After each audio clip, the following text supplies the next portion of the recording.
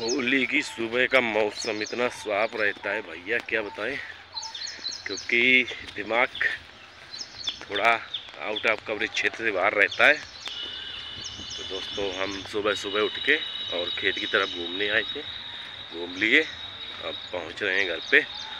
कुछ नाश्ता वगैरह करेंगे, फिर इसकी बात देखते हैं क्या होता है आगे। यहाँ पर नर्सरी बहुत ज़्यादा होती है। हर तरफ़ तुम्हें नर्सरी ही नर्सरी नज़र आएगी, दोस्तों।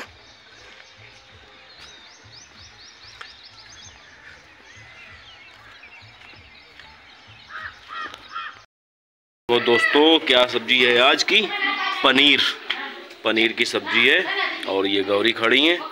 देवांशु हो रहे कहीं जा रहे हैं। ठीक है, दोस्तों।